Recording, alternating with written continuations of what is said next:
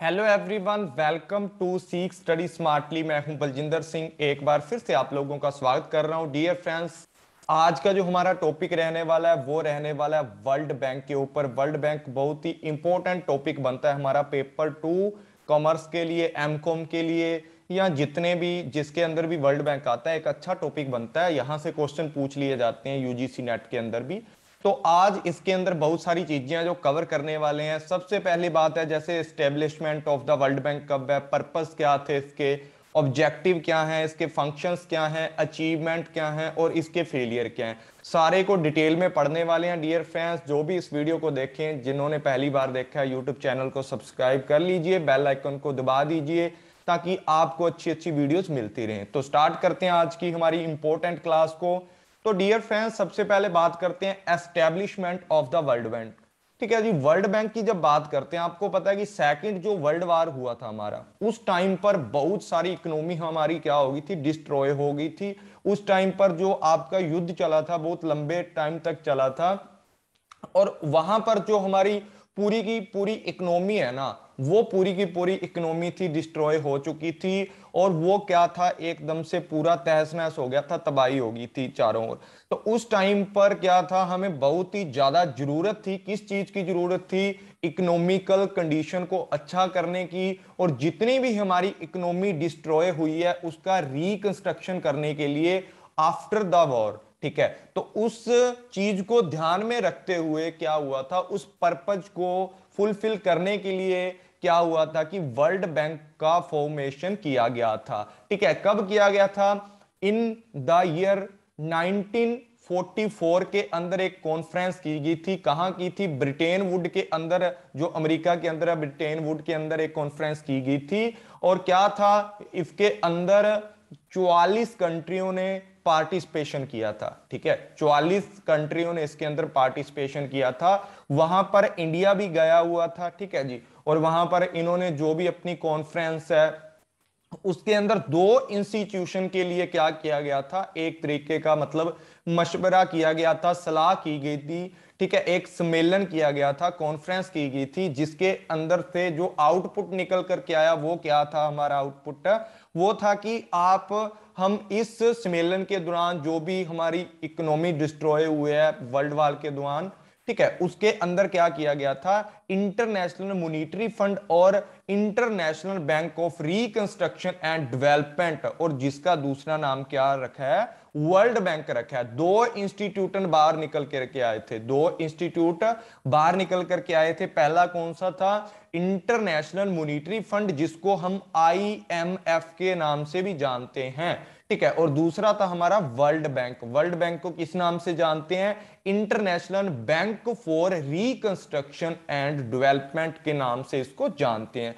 देखो, the main objective अगर बात करें, देखो, दो इंस्टीट्यूट निकल करके आए थे आईएमएफ और एक निकल करके आया हमारा आईबीआरडी जिसको international bank of reconstruction and development bank बोला जाता है। आईएमएफ का जो मेन पर्पज था आईएफएम का मेन जो पर्पज है, वो हमारा पर्पज है कि ये क्या करता है was the stabilise exchange rate जितनी भी स्टेबलाइज्ड करता है एक्सचेंज रेट को by removing dis in the balance of payment BOP के ऊपर ध्यान रखता है, ठीक है? बीओपी का ध्यान रखता है और साथ में क्या करता है, जो डिस इक्विलिब्रियम होता है ना, उनको भी सेट करता है और एक्सचेंज रेट को अच्छे तरीके से मैनेज करके रखता है। और दूसरा इसका क्या काम रहता है? कि शॉर्ट टर्म के लिए जो लोन वगैरह प्रोवाइड किए जाते हैं, वो भी आईएमएफ के द्वारा प्रोवाइड किए जाते हैं।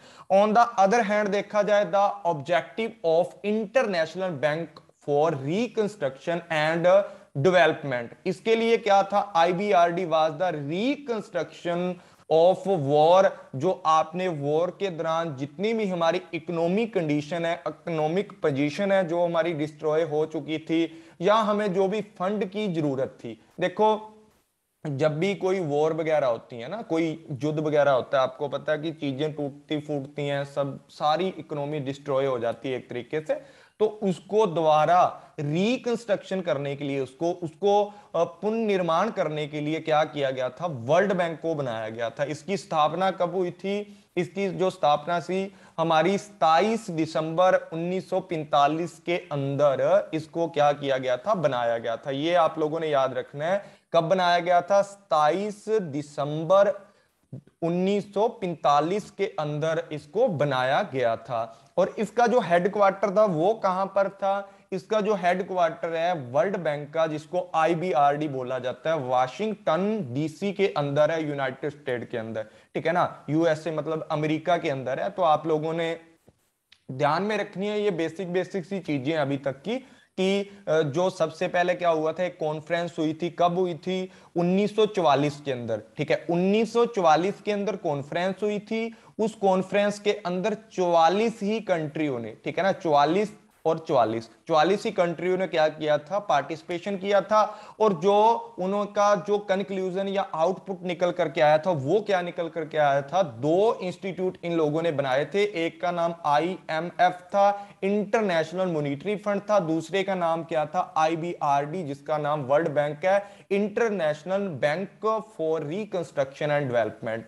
तो इसका हेडक्वार्टर कहाँ पर है? वाशिंगटन डीसी यूनाइटेड स्टेट के अंदर यूएसए के अंदर इसका जो है, आपका पूरे का पूरा जो हेडक्वार्टर है इन दोनों का।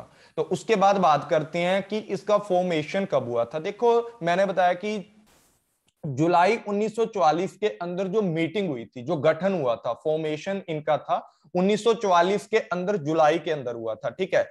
जुलाई के अंदर हुआ था, लेकिन इसका जो मेन जो स्टैब्लिशमेंट थी, कब ये एग्जिस्टिंग के अंदर आया था, कब इसका बना था, वो क्या थी हमारी? 27 दिसंबर 1945 था। ठीक है फॉर्मेशन के अंदर जुलाई 1944 के अंदर, आज से 70 साल पहले की बात है ये, तब इसका क्या किया था? वर्ल्ड बैंक का एस्टेब्लिशमेंट किया गया था।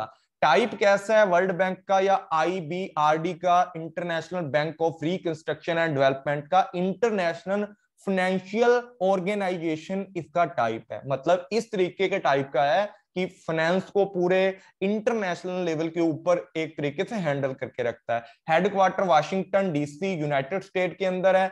मेंबर कंट्री की अगर बात की जाए तो मेंबर कंट्री वर्ल्ड बैंक के अंदर कितनी है? मतलब पूरी की पूरी वो जो हमारी कंट्री है आईबीआरडी के अंदर 189 कंट्री है और आईडीए जो कि वर्ल्ड ग्रुप बैंक ग्रुप्स का एक टाइप है तो इसको भी हम वर्ल्ड बैंक ग्रुप की नेक्स्ट वीडियो के अंदर आपको मैं अच्छे से करवाऊँगा। उसके अंदर कितने आईडीएआर के अंदर और आईडीएआर का फुल नाम क्या होता है? ये आप लोग कमेंट के अंदर बता देना।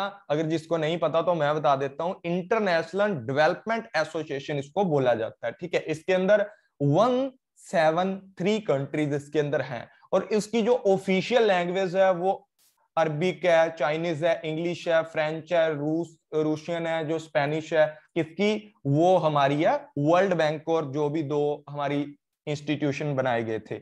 उसके बाद बात करते हैं प्रेसिडेंट की। प्रेसिडेंट जब इसका बनाया गया था, पहले कौन था? Jim Yong Kim. ठीक है? ये नाम है जिंग योंग किम। तो आप लोगों ने याद रखना है, ये वर्ल्ड बैंक का प्रेसिडेंट था। उसके बाद जो प्रेजेंट का जो प्रेसिडेंट है, वो कौन है हमारे? David Malpass. ठीक है? प्रेसिडेंट है जो प्रेजेंट वाले, ये रेड वाला आपको याद करना है। कि जो दोनों में से कोई भी आ सकता है, आप देख लेना कि प्रेसिडेंट कौन है वर्ल्ड बैंक के फ़िलहाल में। डेविड मालपास इनका नाम है, ठीक है? प्रेजेंट ऑर्गेनाइजेशन है, वर्ल्ड ग्रुप के अंदर पेरेंट ऑर्गेनाइजेशन है जो इसका मतलब जहाँ से निकल करके बना है, किस तरीके से बनाया गया। तो वर्ल्ड बैंक है जो, वर्ल्ड बैंक ग्रुप के नाम से इसके अंदर बहुत सारी संस्था आती हैं, चार पाँच आती हैं, वो मैं आपको आगे पढ़ाऊँगा। वर्ल्ड बैंक की अगर बात की जाए, किस तरीके का इंस्टीट्यूट है क्या करता है? देखो, an international organization dedicates to the provide financial and advice and research to the development nation to aid their economic advancement ये जो सारी की सारी बात की जाती है कि जो आप लोगों की डेवलपिंग नेशन है। देखो, एक तो होता है डेवलप्ड एक होता है डेवलपिंग एक होता है अंडर डेवलप डेवलप्ड वो कंट्री होती हैं जो पूरी तरह डेवलप कर चुकी होती हैं। जैसे यूएसए अमेरिका है, ठीक है? इंग्लैंड वगैरह जो भी है, ठीक है? बहुत सारी कंट्री हैं जो, और दूसरी बात है डेवलपिंग कंट्री जिस तरीके की हमारी कंट्री है। हम धीरे धीरे डेवलप कर रहे हैं चाइना धीरे धीरे डेवलप कर रहा है, और अंडर डेवलपिंग कंट्री बहुत सारी ऐसी कंट्री हैं जहाँ पर भाई खाने के भी मतलब दुविधा है कि खाएँ कैसे?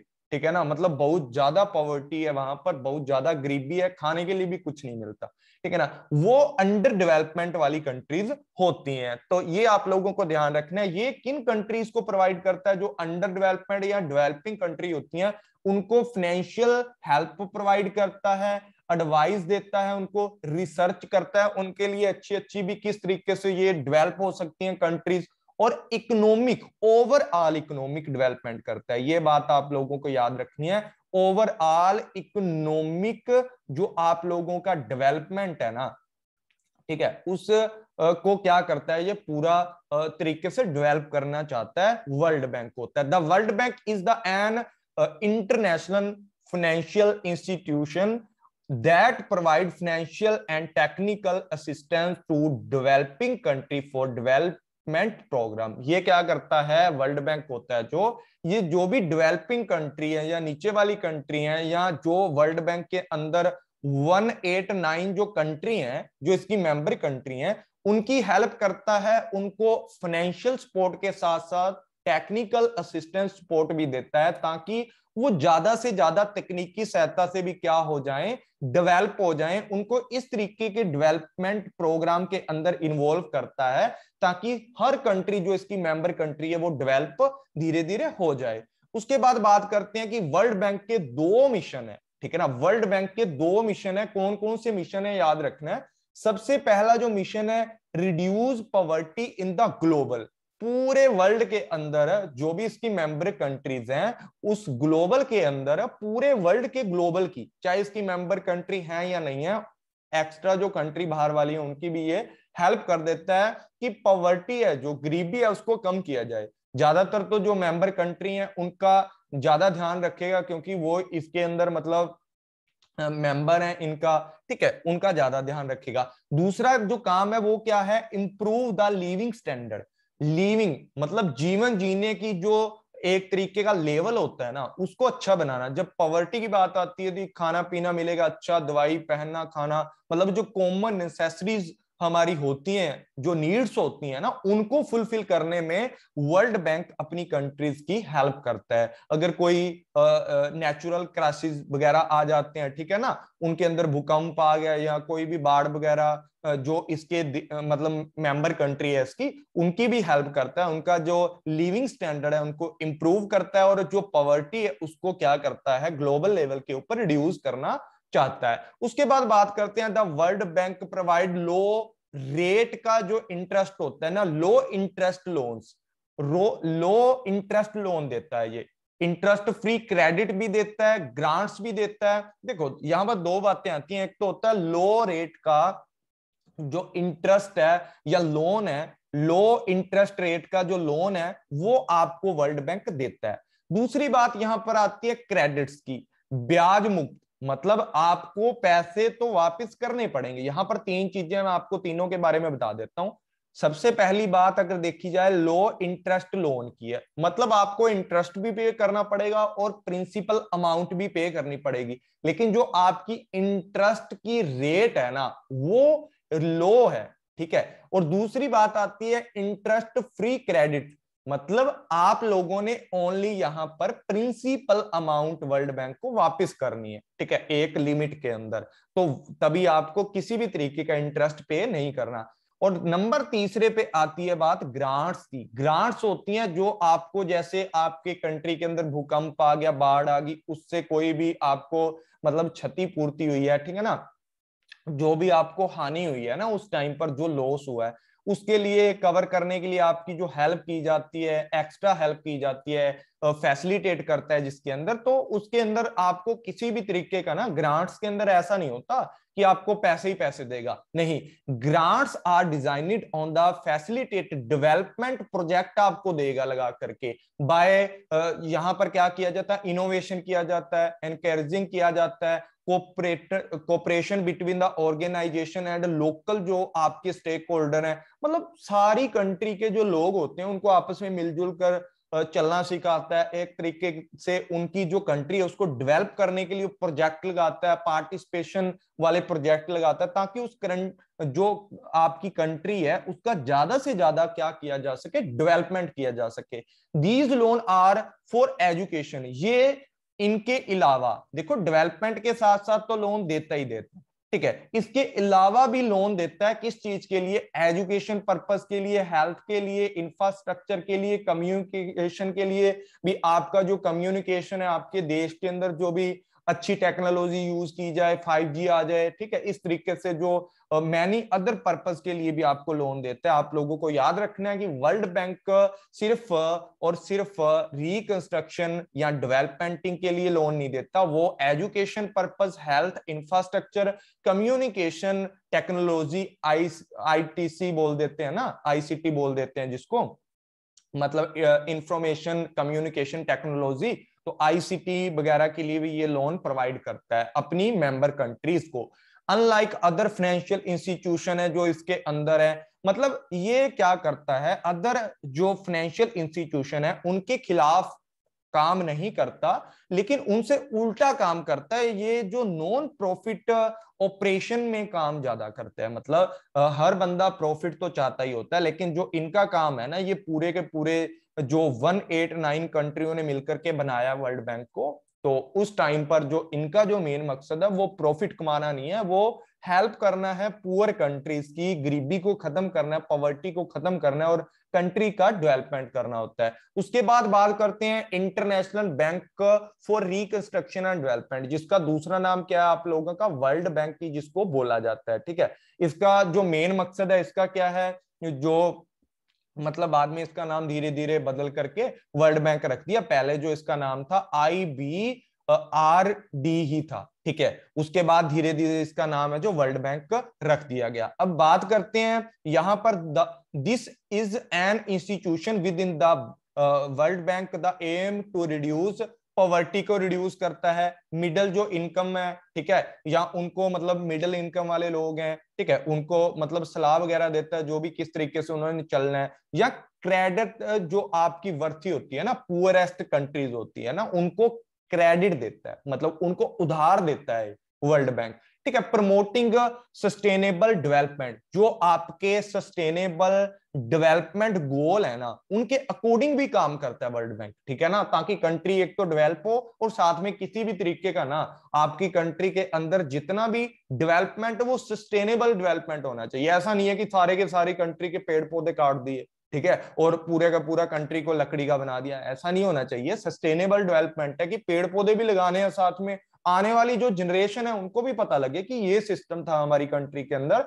तो सस्टेनेबल डेवलपमेंट के थ्रू आपकी कंट्री के जो पुअरनेस है, उसको खत्म करता है, आपको क्रेडिट देता है, आपको लोन देता है, आपको गारंटीज देता है, ठीक है कि आप इन्वेस्टमेंट करो, अगर आपको लॉस होगा तो हम आपका लॉस है, उसको कवर करेंगे। रिस्क मैनेजमेंट है, उसके प्रोडक्ट देता है आपको मतलब रिस्क मैनेजमेंट वाले प्रोडक्ट आपको चलाता है, ताकि आप क्या होगा कि आप जितने भी प्रोडक्ट बना रहे हो, अगर उसके अंदर रिस्क आएगा तो मैनेजमेंट उनकी ये करेंगे, ठीक है? ये आपको उनके ऊपर मतलब जो भी घाटा होगा, उनके ऊपर आपको हेल्प करेंगे। And analytical and advisory service analytical होता है सारी चीज़ों को अच्छे से एनालाइज करके।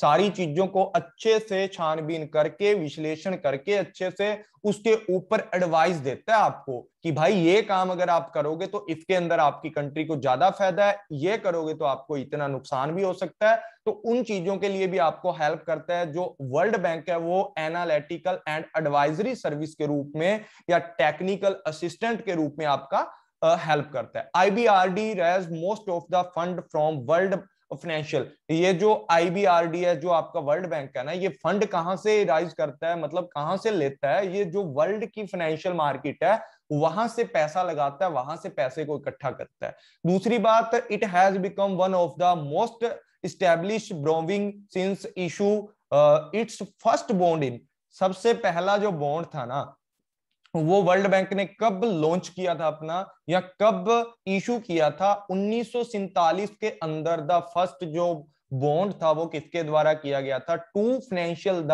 reconstruction of Europe ठीक है यूरोप के लिए उन्होंने सबसे पहले जो क्या था, क्या किया था? एक तरीके का बॉन्ड जो इशू किया था, उसके ऊपर लोगों से पैसे लिए थे फाइनेंशियल मार्केट के अंदर। Land to countries with the relatively high per capital income, यहाँ पर क्या होता है कि जो उच्च अपेक्षा वाली जो हमारी कंट्रीज़ होती हैं, उच्च प्रति इनकम वाली कंट्री होती हैं, उनसे उधार लेता है। मतलब जिन कंट्रीज़ के पास पैसा ज़्यादा है ना, जिस कंट्रीज़ के लोगों के पास पैसा ज़्यादा है, वहाँ से फंड को इराज करता है। सीधी सी बात है, वहाँ से लैंडिंग करवाता है पैसों की। उसके बाद बात करते हैं इसके पर्पस की। देखो, बहुत कुछ आप लोगों को समझ आ गया होगा, पर्पस की बात करते हैं। पर्पस क्या होता है? Granting reconstruction loan to war जो आपने वॉर के अंदर अपनी कंट्री को डिस्ट्रॉय किया था ठीक है ना? उस सारी कंट्री का पुनर्निर्माण करने के लिए उसको रिकंस्ट्रक्शन करने के लिए ग्रांट देता है। कौन देता है? वर्ल्ड बैंक देता है जी। उसके बाद granting development loan to the under development country जो कंट्री अभी अविकसित देशों के अंदर आती है और इसकी मेंबर कंट्री है, ए, 189 मेंबर कंट्रीज़ के अंदर आती हैं जो भी, और वो अंडर डेवलपमेंट के अंदर चल रही हैं, उनको भी डेवलपमेंटल लोन प्रोवाइड करता है। नंबर तीन पे बात करते हैं providing loan to government for agriculture irrigation power transport water supply education health देखो, जो भी आपकी कंट्रीज़ हैं, उनको कृषि के लिए, सिंचाई के लिए, बिजली के लिए जो आपका ट्रांसपोर्टेंस है टेशन है आपका, उनके लिए, ठीक है, जो आपकी वाटर सप्लाई है एजुकेशन है हेल्थ है, ठीक है ना, उन सारी चीज़ों के लिए, शिक्षा, स्वास्थ्य के लिए ये आपको क्या देता है? लोन प्रोवाइड करता है। प्रोवाइडिंग लोन्स टू प्राइवेट जो कंसर्न फॉर द स्पेसिफिक जो प्रोजेक्ट्स होते हैं।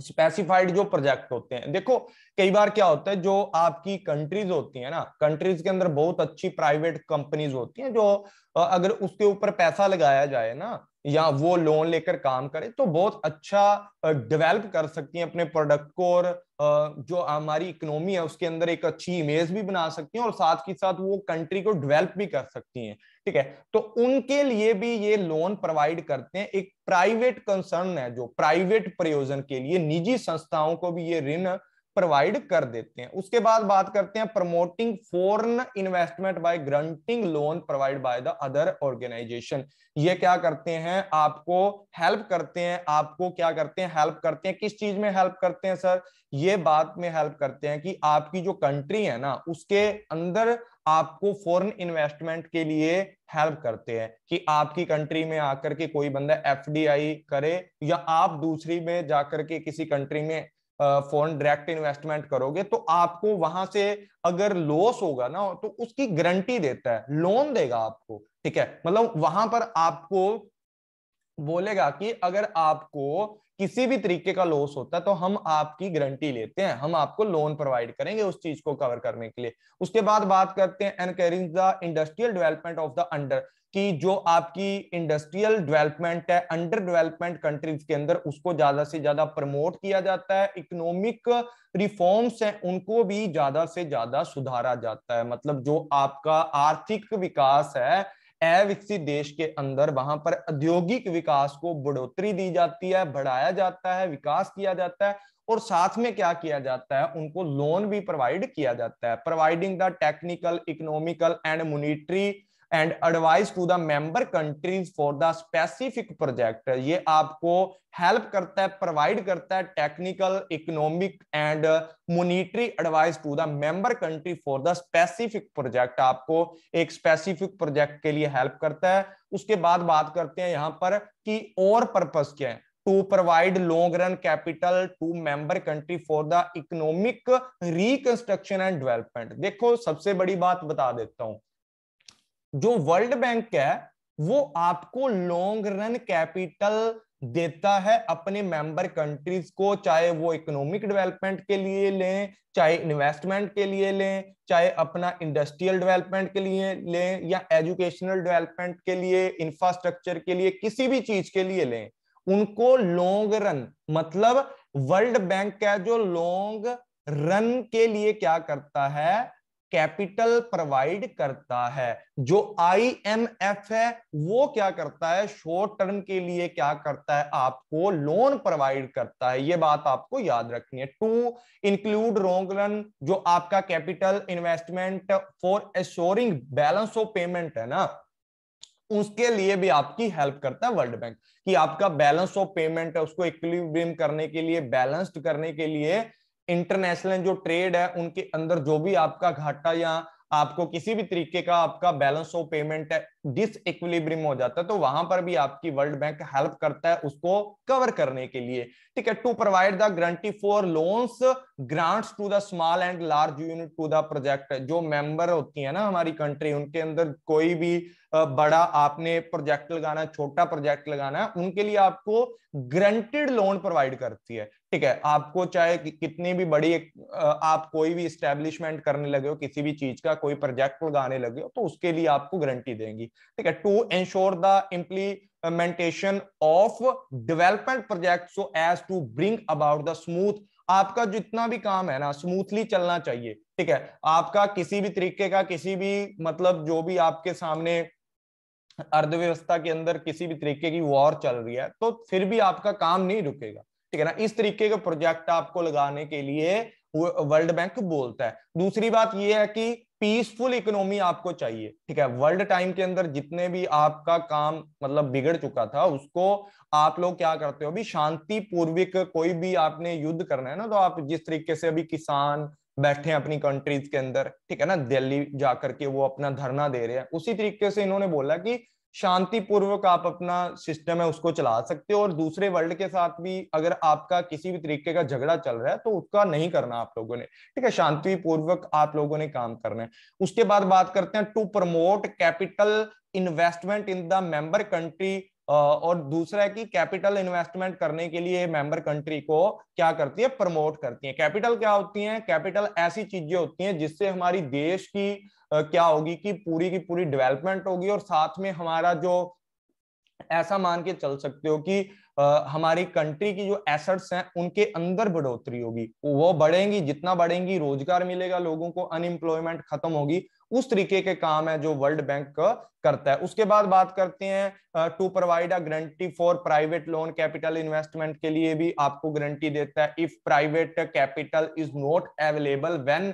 after providing guarantee then IBRD provide loan for the productive activity productive activities के लिए ये कंसिडरेशन कंडीशन वगैरह रख करके आपको लोन वगैरह देता है। ठीक है ना? कुछ शर्तों के अनुसार अगर आपका जो प्राइवेट कैपिटल आपको नहीं मिलती तो आईबीआरडी आपको अपने अंडर रहकर लोन प्रोवाइड करवाता है, लेकिन प्रोडक्टिव एक्टिविटीज़ होनी चाहिए आपकी, ठीक है? फालतू का काम नहीं है कि पबजी निकालनी है, सर जी, हमें लोन दिलवा दो, ऐसा काम नहीं करना। प्रोडक्टिव वो जो देश का पूरे का पूरा इकोनॉमी है, उसको डेवलपमेंट करे। उसके बाद बात करते हैं why it came into existence world bank आया क्यों? आपको पता है कि जब सेकंड वर्ल्ड वार हुआ था उसके बाद फंड अराइज करने बहुत ही ज़रूरी हो गए थे, बहुत ही ज़्यादा रिकंस्ट्रक्शन की ज़रूरत थी, हर कंट्री को थी, ठीक है ना? जो जो डिस्ट्रॉय हो चुकी थी, हर कंट्री को क्या थी? फंड की ज़रूरत थी तो उसके लिए वर्ल्ड बैंक को बनाया गया था, ये तो मैंने पहले बता दिया। और यहाँ पर एक बात और बता देता हूँ, the international bank for reconstruction and development was the first multilateral development bank इसको आपने याद रखने की बहुपक्षीय विकास बैंक इसको बोला जाता है मल्टी लेटरल बैंक भी इसको बोला जाता है। मैं हाईलाइट करना भूल गया पीडीएफ के अंदर आपको मिल जाएगा कि जो इंटरनेशनल बैंक ऑफ़ रिकंस्ट्रक्शन था आईबीआरडी था, उसको क्या बोला जाता है? मल्टीलेटरल डेवलपमेंट बैंक बोला जाता है before world war second had to end ठीक है ना? युद्ध समाप्त होने से पहले इसको बोला जाता था। ठीक है? उसके बाद बात करते हैं कि जो आप लोगों का वर्ल्ड बैंक था, इसके पीछे किस बंदे ने क्या किया या कौन कौन बंदा था इसकी जो स्थापना करने वाला है, बनाया किस किस बंदे ने था? Harry, Dexter, White and John Keynes, ठीक है ना? कैनिस, इन दो लोगों ने बनाया था, हैरी, डेफ्टर, व्हाइट बोला जाता है इसको, एंड जॉन कैनी इसको बोला जाता है, ठीक है? इन लोगों ने बनाया था कि जो भी आपका इंटरनेशनल इंस्टीट्यूशन स्टेबलाइज करता था एक्सचेंज रेट को and provide a source of financial for the reconstruction and development जो वॉर के अंदर रहेगा मतलब आपका पूरे का पूरा डिस्ट्रॉय हुआ था, ठीक है? उसके लिए। उसके बाद बात करते हैं what is the Bretton Wood conference Bretton Wood conference क्या थी? कि एक जुलाई से लेकर 22 या 25 जुलाई तक चली थी 1944 के अंदर। और वहाँ से निकल करके वहाँ पर क्या था? कंटेन्स द 730 जो डेडिगेट्स फॉर ऑल कंट्री थी, जो हमारी 44 कंट्री थी, ठीक है, उनके नेशन आए थे। और साथ में जो प्रतिनिधि थे उसको करने वाले वो कितने थे? 730 डेडिकेट्स थे 44 कंट्रियों के। तो इसके अंदर जो एक जुलाई से लेकर के 22 जुलाई तक 2044 के अंदर एक कॉन्फ्रेंस हुई थी ब्रूटन विड के अंदर। तो उस कॉन्फ्रेंस के अंदर रह करके इसको बनाया था और वहाँ पे क्या हुआ था, जो आपका पूरा का पूरा सिस्टम था वो निकल करके आया था। यहाँ पर मैंने आपको बताया था क्रिएट टू मेजर इंस्टीट्यूट बनकर आए थे। एक तो वर्ल्ड बैंक है जिसको आई बी आर जी बोला जाता है, जिसको आई क्या बोला जाता है? आईबीआरडी जिसको बोला जाता है। और साथ में क्या था? वर्ल्ड बैंक निकल करके आया था। वर्ल्ड बैंक क्या था? लॉन्ग टर्म का लोन देता है आपको। किसके लिए? जो आपकी डिस्ट्रेस टू ये इकोनॉमी एंड मेंबर कंट्री जो भी इसकी है मतलब पूरी की पूरी जो युद्ध के अंदर हमारी इकोनॉमी डिस्ट्रॉय हो चुकी है, उसके लिए लॉन्ग रन का जो आपको लोन प्रोवाइड करता। आईएमएफ क्या था? ग्रांट्स देता था and the short term loan for the develop of the cyclical disturbance मतलब जो साइक्लिकल जो डिस जो डिस्टर्बेंस होती है हमारी मतलब अल्पकालिक ऋण देता है हमने को। कहा? जो आपकी साइक्लिकल डिस्टर्बेंस होती है ना डिस्टर्बेंस तो कौन सी होती है? बीओपी के अंदर। मतलब आपका बीओपी है जो क्या हो चुका है? एकदम से डिसइक्विलिब्रियम हो चुका है, उसके लिए ये क्या देता है? आपको ग्रांट देता है आईएमएफ ठीक है, उसके बाद ऑब्जेक्टिव की बात करते हैं, सर जी। ऑब्जेक्टिव क्या क्या हो सकते हैं हमारे? वर्ल्ड बैंक के। वर्ल्ड बैंक के जब ऑब्जेक्टिव्स की बात करते हैं तो ऑब्जेक्टिव्स के अंदर बहुत सारी चीज़ें आती हैं निकल करके। सबसे पहले तो बात करते हैं किसकी? सबसे पहले बात करते हैं reconstruction and development world bank आपका किस लिए बनना था? रिकंस्ट्रक्शन एंड डेवलपमेंट करने के लिए, जो सेकेंड वर्ल्ड वार के आफ्टर जितनी भी कंट्री क्या हुई थी? डिस्ट्रॉय हुई थी। उसके नंबर दो पे बात करते हैं कि जो एनकरेजमेंट करता है टू द कैपिटल इन्वेस्टमेंट को कैपिटल इन्वेस्टमेंट कंट्रीज़ के अंदर उसको ज़्यादा से ज़्यादा प्रमोट करता है। नंबर तीन पर बात करते हैं कि जो एस्टेब्लिश करता है पीस टाइम इकोनॉमी मतलब शांति काल वाली, शांति काल वाली इकोनॉमी को स्थापना करता है कि अगर आपका दूसरे देशों के साथ किसी भी तरीके का काम चल रहा है ना उसके अंदर आपको पूरा प्यार से रहना है, ठीक है ना? ऐसा ना हो कि आप बम गोले चला दो, पहले के जैसा नहीं है। अगर आपका किसी कंट्री के साथ कोई झगड़ा चल भी रहा है तो उसको मतलब सुलझा लें, ठीक है ना? पीस टाइम इकोनॉमी इन्होंने प्रोवाइड करनी है पूरे वर्ल्ड के अंदर मेंबर कंट्रीज़ को। उसके नंबर चार पे बात करते हैं इनकरेजमेंट टू द इंटरनेशनल जो आपका इंटरनेशनल क्या होता है? जो इंटरनेशनल ट्रेड होता है ना, जहाँ पर ट्रेड लगेगा, ठीक है? इंटरनेशनल ट्रेड है ना, उसको बढ़ावा देता है। ठीक है, जो इनकर्जमेंट करते हैं इंटरनेशनल ट्रेड के अंदर जब भी आप क्या करोगे इन्वेस्टमेंट भी कर सकते हो इंटरनेशनल के साथ, दूसरे लोगों के साथ क्या होता है कि जो आपका लिविंग ऑफ़ स्टैंडर्ड होता है ना, जब इंटरनेशनल ट्रेड करते हो तो लिविंग ऑफ़ स्टैंडर्ड आपका इंप्रूव होता है, अच्छी अच्छी गुड्स एंड आपको मिलती है। इन्वायरमेंट प्रोटेक्शन का भी आप लोगों को ध्यान रखना है। ऐसे नहीं है कि द्वारा फिर युद्ध कर लो इकोनॉमी डिस्ट्रॉय कर दो, आपको पता ही है कि वर्ल्ड बैंक आपको दे ही देगा। तो इनकी भी कुछ टर्म एंड कंडीशन है कि जो आपका इन्वायरमेंट है ना, उसको सुरक्षित रखना है। ऐसा डेवलपमेंट नहीं करना जो इन्वायरमेंट को हार्मफुल करे। डेवलपमेंट तो हो जाएगा, लेकिन उसका फ़ायदा क्या है? सस्टेनेबल डेवलपमेंट की बात करता है, ठीक है ना? इन्वायरमेंट प्रोडक्शन का भी ध्यान रखता है सस्टेनेबल डेवलपमेंट की भी ध्यान रखता है इंफ्रास्ट्रक्चरल डेवलपमेंट करता है। इंफ्रास्ट्रक्चरल डेवलपमेंट क्या होता है सर जी? इंफ्रास्ट्रक्चरल डेवलपमेंट होता है, जहाँ पर देश के अंदर क्या होता है कि उसकी अधोसंरचना जैसे सड़कें बनवा दी वहाँ पर, ठीक है? इस तरीके की, उनके लिए भी रियायती जो ऋण है आपको देता है वर्ल्ड बैंक आपको क्या करता है, उनके लिए कम रेट ऑफ़ इंटरेस्ट के ऊपर आपको ऋण देता है। उसके बाद बात करते हैं लोन ऑफ़ फॉर मीटिंग मतलब मीटिंग करता है deficit in the balance of payment balance of payment के लिए लॉन्ग रन के लिए आपको क्या करता है? लोन प्रोवाइड करता है। जब आपका बैलेंस ऑफ़ पेमेंट डिसइक्विलिब्रियम हो जाता है बैलेंस ऑफ़ पेमेंट की वीडियो मैंने ऑलरेडी मेरे यूट्यूब चैनल पर डाल दी है। डिस्क्रिप्शन में आपको लिंक मिल जाएगा। नहीं जिसको पता तो eight two nine five one zero three five nine five के ऊपर आप मुझे मैसेज कर सकते हो। आपको क्या दे दूँगा मैं? इसका लिंक प्रोवाइड कर दूँगा। ठीक है? आपको इसका लिंक प्रोवाइड कर दूँगा ताकि आपकी प्रिपरेशन और भी अच्छी हो जाए। Eight two nine five one zero three five nine five. ठीक है, ये मेरा व्हाट्सएप नंबर है और टेलीग्राम पर। इकोनॉमिकल डेवलपमेंट की बात करता है सर जी। इकोनॉमिकल डेवलपमेंट क्या होता है? इकोनॉमिकल डेवलपमेंट के अंदर पूरे के पूरे जो कंट्री है हमारी, उसका इकोनॉमिकल डेवलपमेंट किया जाता है, जो फाइनेंशियली रूप से होता है। उसके बाद बात करते हैं प्रोवाइडिंग फाइनेंशियल एड्स मतलब आपको फाइनेंशियल सहायता प्रदान करता है सेटलमेंट ऑफ़ डिस्ट्रीब्यूट सेटलमेंट मतलब आपका दूसरे देशों के साथ किसी भी तरीके का झगड़ा चल रहा है तो वर्ल्ड बैंक बीच में मतलब मिडेटरी का काम करके आपका पूरे का पूरा जो भी झगड़ा चल रहा है, उसको सेटलमेंट करता है उस डिस्ट्रीब्यूट्स को।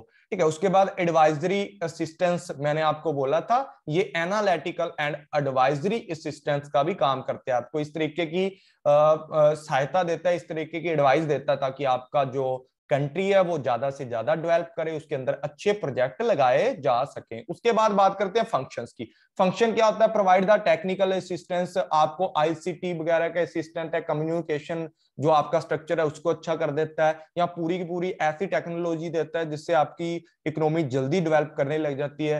एडवांसेज लोन वगैरह देने लग जाता है। मतलब लोन वगैरह आपको प्रोवाइड करता है। लोन्स के अंदर अगर बात की जाए तो आपको डायरेक्ट लोन भी दे सकता है गारंटी लोन भी दे सकता है, और ज्वाइंट लोन भी दे सकता है। ठीक है? अब आप लोगों को, जिनको नहीं पता तो मुझे कमेंट कर देना, मैं आपको बता दूँगा। डायरेक्ट लोन ये होता कि आप किसी भी चलो बता ही देता हूँ एडवांस लोन की बात करते हैं। एडवांस लोन में तीन तरीके की चीज़ें आती हैं। सबसे पहले किसकी आती है? डायरेक्ट लोन की बात करते हैं। डायरेक्ट लोन क्या होता है, सर जी? डायरेक्ट लोन्स की जब बात करते हैं डायरेक्ट लोन ऐसे होते हैं कि जब जो हमारा वर्ल्ड बैंक है ना, आपके जो आपके खुले कोष होते हैं ना, जिस तरीके से मतलब जो फंड होते हैं, वो अराइज करता है बाज़ार से सीधा मार्केट से अराइज करके आपको दे देता है। गारंटी लोन क्या होता है कि निजी निवेशकर्ता के जब लोन वगैरह लेकर देता है, उधार दिलवा सकता है आपको, ठीक है, किसी प्राइवेट बंदे से दिलवा देता है। ज्वाइंट का क्या होता है, दोनों को मिला करके जो आपका डायरेक्ट एंड गारंटी है, उनमें से मिला करके आपको जब लोन दिलवाता है। तो वो होता है एडवांस लोन की इसके अंदर बातचीत होती है। इम्पार्ट ट्रेनिंग आपको ट्रेनिंग भी प्रोवाइड करता है कि आपने अपने जो इकोनॉमी है उसके अंदर रह करके किस तरीके की एक्टिविटीज़ करनी है, ठीक है? किस तरीके के प्रोजेक्ट लगाने हैं, किस तरीके से आपको पूरे का पूरा मार्गदर्शन किया जाता है इसके अंदर एक तरीके का। उसके बाद कोऑर्डिनेट द डेवलपमेंट असिस्टेंट आपको कोऑर्डिनेट करके रखता है डेवलपमेंट असिस्टेंट के तरीके से। मतलब ये लगा के रखो कि आपका जो एड इंडिया क्लब जैसे अपने भारत के अंदर बनाया गया था 1950 के अंदर क्या बनाया गया था? एड इंडिया जो आपका एड इंडिया क्लब बनाया गया था, ठीक है? एड इंडिया क्लब बनाया गया था, ठीक है? ये नहीं आएगा। एड इंडिया जो क्लब बनाया गया था 1950 के अंदर बनाया गया था, जो आपका पूरे का पूरा ऐसा लगा लो कि अंडर किसके चलता है? वर्ल्ड बैंक के अंडर चलता है। लेकिन पूरा अपने देश को संभाल के रखता है, अपने देश को इस तरीके से चलाता है कि हमारा जो कोऑर्डिनेट रहकर चले, पूरे का पूरा। जितनी भी टर्म एंड कंडीशन है, उसके साथ भी और साथ के साथ मतलब जो डेवलपमेंट अच्छा हो। उसके बाद एग्रीकल्चर एंड रूरल डेवलपमेंट के लिए हेल्प करता है। आपको पता है, गाँव के अंदर स्कूल वगैरह बनवाने के लिए ठीक है? या जो भी आपका मतलब गाँव के अंदर जो कृषि का काम है, उसके लिए भी कृषि एंड विकास अंतरराष्ट्रीय आपको पता है कोर्स चलाया गया था। उसके अंदर भी पूरे का पूरा सिस्टम ये करता है। उसके बाद coordinate the development assistant second time आ गया। उसके बाद बात करते हैं कि यहाँ पर असिस्टेंट प्रोवाइड करता है किसकी? फाइनेंशियल के लिए वेलफेयर के लिए इंस्टीट्यूशन बनाता है। आप जहाँ पर ज़्यादा से ज़्यादा वेलफेयर करते हो ना, यहाँ से ज़्यादा मतलब ऐसा मान के चलो कि जो आपका वेलफेयर के लिए काम होता है ना वर्ल्ड के अंदर और साथ में डेवलपमेंट के लिए वहाँ पर ये लोन प्रोवाइड करता है फाइनेंशियल हेल्प करता है।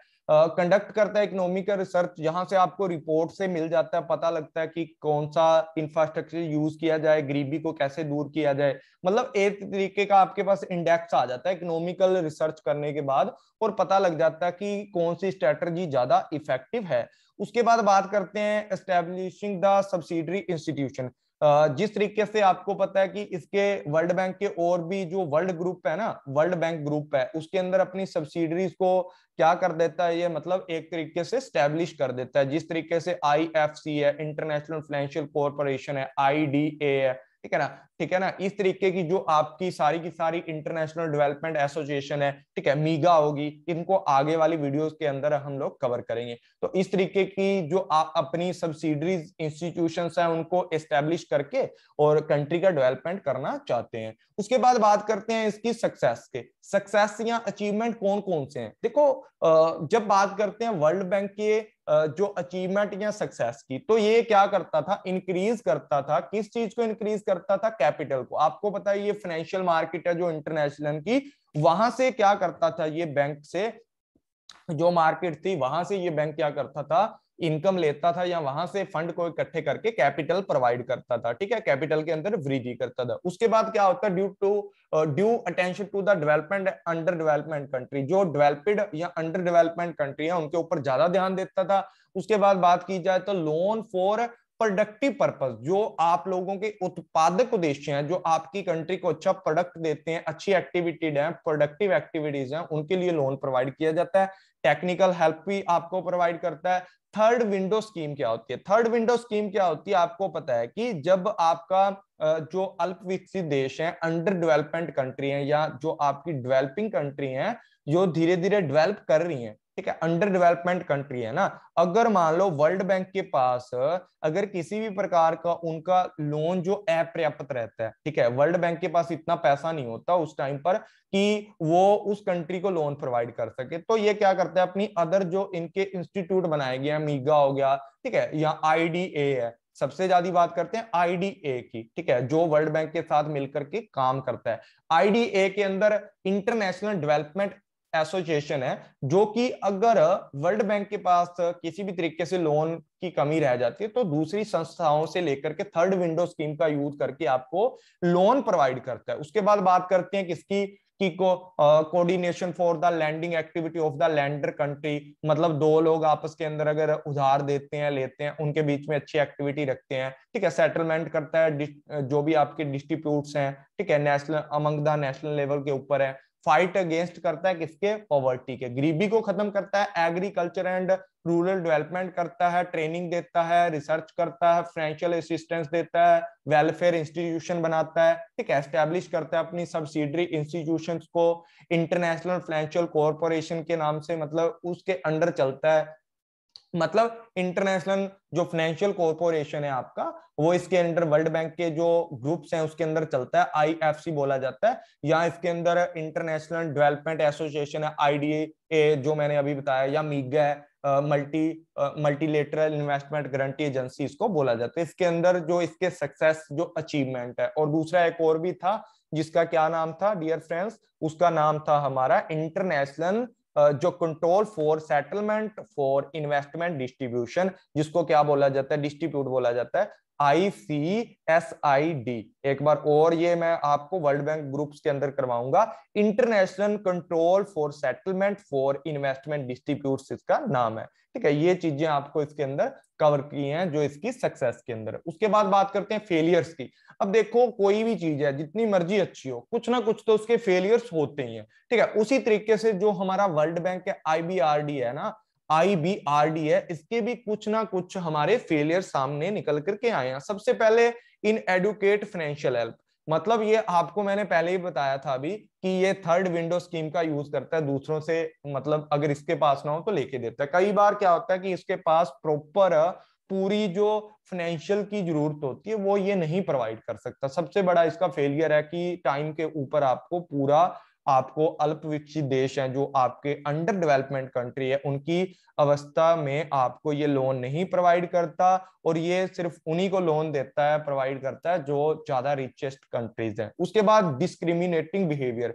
मतलब जो अमीर कंट्रीज़ हैं यूएसए हो गया, अगर उनको लोन चाहिए ना, उनको तो एक मिनट में दे देगा। भेद, भेदभाव करता है, भेदभाव पूर्ण व्यवहार करता है, जो वर्ल्ड बैंक है ना अगर इंडिया ने लोन मांग लिया तो इंडिया को तो भाई दस रिक्वेस्ट करने पे देगा। जो ज़्यादा अमीर कंट्री है, उनको एकदम से मतलब बोलो कि पास है आपका लोन ठीक है, उसके बाद बात करते हैं high rate of interest on commercial credit अगर आप कॉमर्शियल क्रेडिट की बात करते हो ना तो इसके ऊपर कॉमर्शियल के अकॉर्डिंग देखा जाए तो इसकी रेट जो इंटरेस्ट की रेट है, वो हाई रहती है। उसके बाद बात करते हैं हाई रेट ऑफ़ इंटरेस्ट और कॉमर्शियल ये तो आ गया था। उसके बाद defective loan policy defective loan policy ये है कि आपकी ज़्यादा रिजिड है, ठीक है ना?